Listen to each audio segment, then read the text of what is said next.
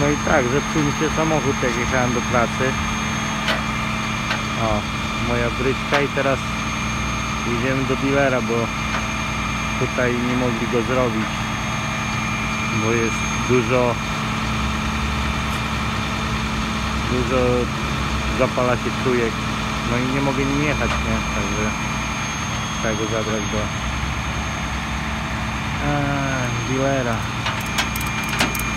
Mówią, że coś jest, bo jest, to jest na prąd, także prąd i paliwo, także coś jest połączone z że prąd nie dochodzi do silnika.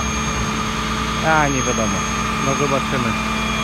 Zobaczymy co powiedzą do dealera going?